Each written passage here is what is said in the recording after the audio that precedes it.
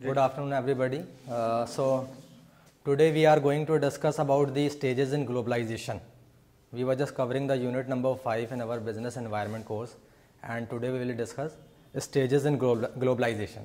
But uh, prior to that, I would like to tell you something related to doing international business. Whenever we, we go for international business, then what happens?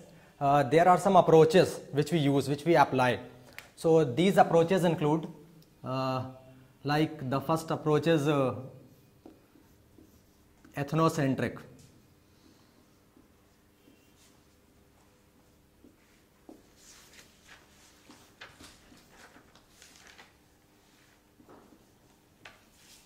Likewise another stages. Some people you may uh, maybe from you maybe know. Polycentric. Approach okay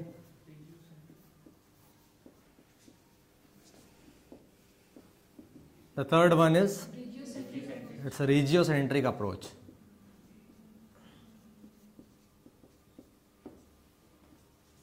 And fourth is geocentric approach. So these are the four main approaches which are used by the marketers while going internationally. Suppose you are going to perform your business worldwide, you are going to bring your business in another country, then what will happen? Uh, you will use out of these any one approach. Out of these any one approach. Suppose what is what, what is ethnocentric approach? Ethnocentric approach, as the name suggests, it is related to ethnicity. It is related to uh, means the country where the company is existing, where the main headquarter of the company is existing, that company will focus upon the customers who belong to the same country. It will focus upon the suppliers of the same country. It will focus upon the customers of the same country. Means all the process, all the operations of the company will run within the country. They are not going to entertain other countries. They are just going to percept all and everything regarding that business by focusing upon at that domestic country only. So that is ethnocentric approach of uh, business. That is ethnocentric approach. And what is polycentric approach? What is polycentric approach? Poly means many. Centric means focusing. So focusing on many. Focusing on many means uh, suppose we have a business in India and this firm belongs to India and uh, we are moving to another country like uh, we just want to bring our business to America or we, we just want to bring our business to uh, Germany. In Germany, if we are going, so we are not going to cater to the customers according to the needs of the Indians. We will target the German customers according to their own needs, according to their own perceptions. So it will depend upon the country. Wherever we are going, we will prepare our marketing mix. Marketing mix means there are four P's in marketing mix product, place, price, promotion. In ethnocentric approach, what happens? The uh, marketing mix depends upon the uh, customers of the country, on the people of the country, the domestic country. But if we are going poly, through polycentric approach, then what will happen? We will focus upon different countries, or we can say it is like a multi-domestic company, multi-domestic. Suppose if we are in India, we are going to target the customers of India. So we will prepare our marketing mix according to the customers of India. And if we are going to do our business in uh, Germany, then we will prepare our marketing mix according to the customers of Germany. Okay. So that is polycentric approach means wherever we are going we will prepare our marketing mix according to the customers of that specific country and uh, then comes regiocentric approach. In regiocentric approach what happens? In regiocentric regio means it is related to region. It is region. Okay then targeting some different regions.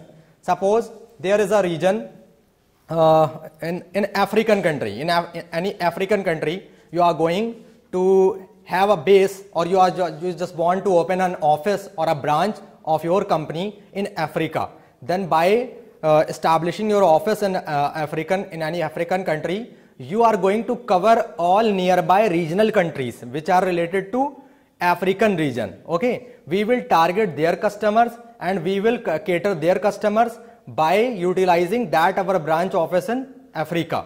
So that is that is known as regiocentric approach. And what is geocentric? Geo means geo is related to entire earth. Okay, that is related to entire earth. So we are focusing on entire earth. Our entire earth that is considered as a single country. In geocentric, we consider the entire world as a single country and on focusing on single country, for us then the customers become all the people of the entire world. For our, for our purpose in geocentric approach, all the, the suppliers become, the suppliers become all the, all the suppliers of the, uh, of the different countries of the entire world. So we are considering the entire world as a single entity or a single country. And after that, we are per performing our all marketing activities according to that. So that is geocentric approach. So these are the four basic approaches which are being utilized in doing business internationally. So now we move to another topic that we have to cover that is stages in globalization.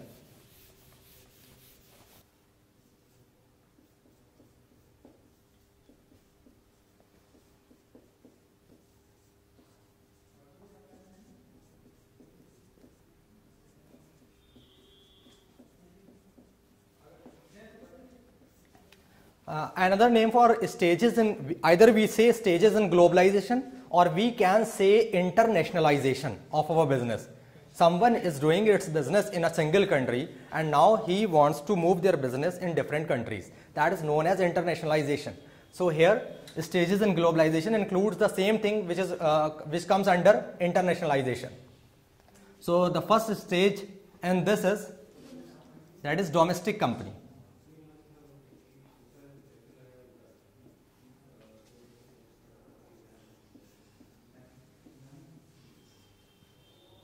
The second stage is international company.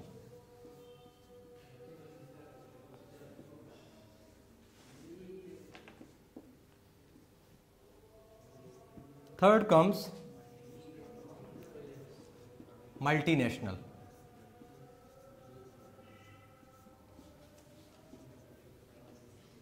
Fourth is it's global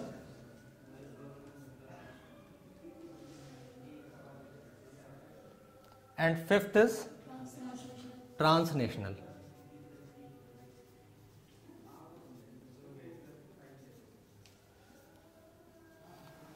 So these are the five stages in globalization. Are you getting? So these are the five stages. Suppose you have a business in India and you want to move your business, you want to develop or establish your business worldwide.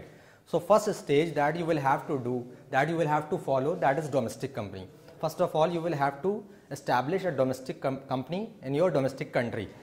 So after that you can move to internationalization of your company. You can move to another country and further you can go for multinational company and then you can be uh, you can work globally and finally you will be you can establish yourself as a transnational company. So what is a domestic company first of all? What is domestic company?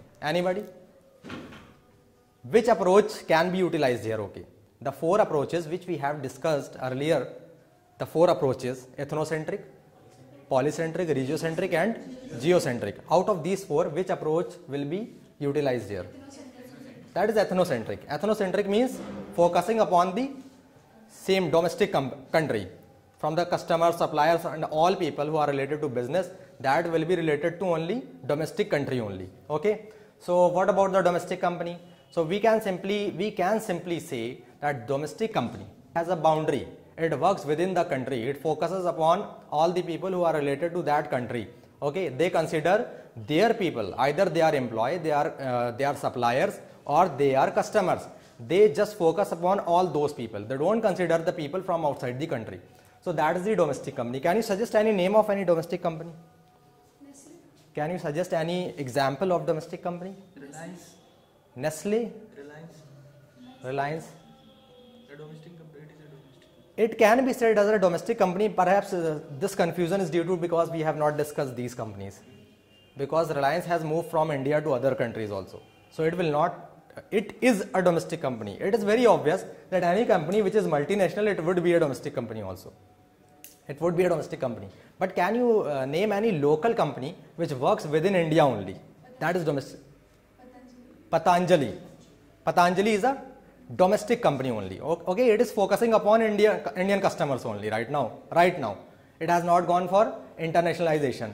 So domestic company, it is working within the boundaries only, within the boundaries of India only. Okay. The second is international company. In domestic company, what happened? in domestic company, uh, the marketer just prepare a marketing mix according to the customers of India. Okay, they take supply of raw material from Indian suppliers. They hire employees from India only. So they are totally focusing upon Indian people only. Okay, and uh, in international company, so there is a marketing mix. There is a marketing mix which has been prepared for Indian customers, which has been prepared for domestic customers only. Marketing mix, are you, are you getting? Marketing mix. So then uh, international company, what happens? Suppose we are performing our business within the boundaries of India and uh, our target customer uh, were around uh, 10 lakh people and we have catered the need of almost around 10 lakh people. Now we have almost provided our products to the entire uh, target market within India. Now what can we do to just grow? We can move to other countries. We can cross the boundary of India. So international company is that company which was working earlier in the domestic location but just to grow or just to expand it moves to other countries. But the specific thing which is sticked with the international company is that it keeps its marketing mix same. If it is moving in another country also but it is not changing its marketing mix. Its marketing mix is same as earlier as it was in India. It is not going to change its marketing mix. Suppose Patanjali is here in, in India. It has, this, uh, it has its unique products and now it wants to internationalize its company. So if it moves to other countries also, it will, it will provide them, means the customers of other countries, the same products which, were, which it was selling within India. So moving from one country to another just for the sake of uh, expansion of your business or growing the business with same products with same marketing mix. That is international company. That is international company. And now there is a difference between international and multinational. Multinational means multi means many national means countries okay? In multinational companies how it is different from the second one from international company. Multinational company is different from international company in such a way that in multinational companies the marketing mix is different for different countries in international companies the marketing mix is not different. The marketing mix which was prepared for domestic company the same was provided in the host country also. Okay? But in multinational companies what happens? Uh, the domestic company just establish its branches its different offices or its subsidiaries in different countries and that subsidiary or branches they work upon the customers of that specific country. And according to those customers they just prepare their marketing mix. So they have different marketing mix. In multi in multinational companies they have different marketing mix.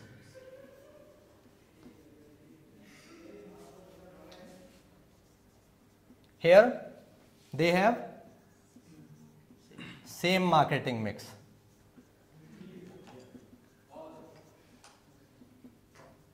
Okay, so this is the main difference within international and multinational. Both companies are uh, working across the boundaries of the domestic country, but the difference lies in targeting the customer in the marketing mix. It utilizes same marketing mix as domestic country, but it doesn't utilize. It works according to the need of the specific country. Okay. Now, what about the global company? Then what is the global company? Actually, these are the stages if this is an international company then it would be a domestic company also. This is the subset of this one. Okay? It is a multinational company but it is not it is not necessary that the multinational company will also be an international company. Because in international the same marketing mix was used. But in mnc the same marketing mix are, is not used. In global company what happens? Global company is same as like uh, domestic company first started its business from the domestic country, then it moved to other countries for the sake of expansion and it uses different marketing mix according to the different countries. But uh, global companies are those companies, it may be of two types. It may be of it may be under, understood in two ways. Either it produces produces in one country or we can say domestic domestic country. And uh, sells in different countries.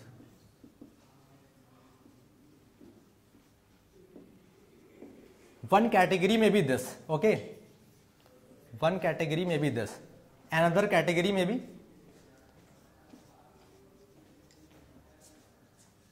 produces in different countries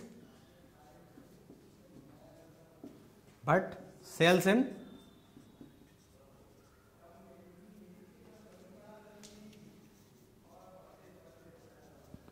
domestic country. Are you getting? Global companies are those companies where the production is done in the domestic country itself but the products are sold in different countries of the world. Or it may be the production may be done in different countries worldwide but it would be sold in domestic country only. So uh, do you know any example of such type of companies? Any example? Which produces in one country but sells in other countries? Gap is for what? For first one or for second one? For b1 for b. The example is given by Fazila this gap. Gap is a fashion it is related to fashion industry okay? So what happens what gap does gap uh, actually uh, utilizes different resources from all around the world in different countries. From wherever they find raw material at cheaper rates they get it from there. If they if they want to get it stitched they just get it stitched from those countries where they get it cheaper and quality wise and then finally they sells in us only gap products are sold in us only. They don't they doesn't sell in different countries. They sell they manufactures it in different countries but sells in us only. Example gap in us okay? And what about this? Any name? Dr reddy's. Dr reddy's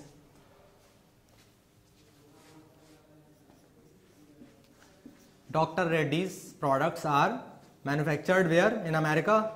In india. In India. these are manufactured in india but these are sold in all over the world. Patanjali products are being being produced in india, but in future it may be sold in different countries okay? And uh, there is another example like harley davidson the bikes of harley and davidson which are manufactured in united states.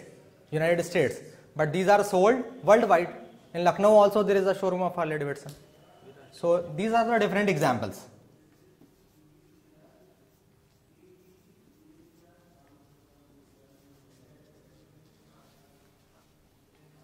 So this is the global company. So got it? Transnational company. What are transnational companies? TNCs. TNCs. Transnational companies. What is the difference between multinational and transnational?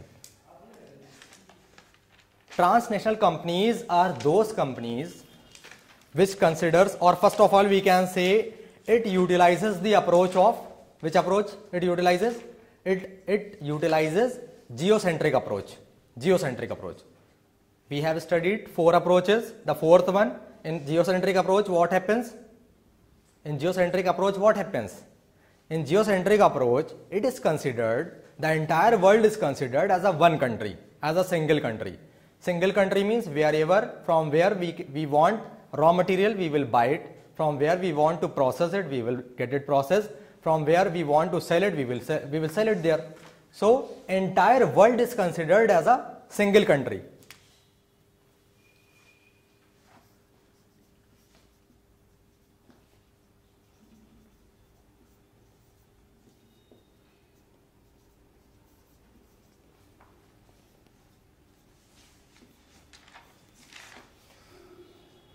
So in this way, what happens? These are those companies which uh, have their offices anywhere worldwide and according to their need of manufacturing, they just utilize, they just find out the resources, different resources from different places from the world at cheaper rates and they just transform it into a very good quality product so that it can be given to consumers at economical rates with best quality. Okay. So is there any any example which you know about? Like there is an example of Coke, there is an example of Pepsi. These are the transnational companies. They acquire everything from all over the world. Wherever they find it cheaper, they just uh, find it from there. Lenovo is another example. Lenovo also do the same thing. So uh, this is known as transnational company. Its basic approach is they consider entire world as a single country. And according to that they utilizes all the resources. Either it is raw, raw material either it is human resource either it is different uh, processes or information or whatever things. They just use it according to their needs. But they consider it from all over the world. So these are the five stages which comes under the globalization. Through this globalization occurs. Globalization means globalization means that is borderless world. Borderless world. How? Just for the sake of social and economic integration. It is socio economic integration process where we want such type of world where we can move freely and we can uh, have our business there and we can meet different people there. So in this manner we can go for globalization. Okay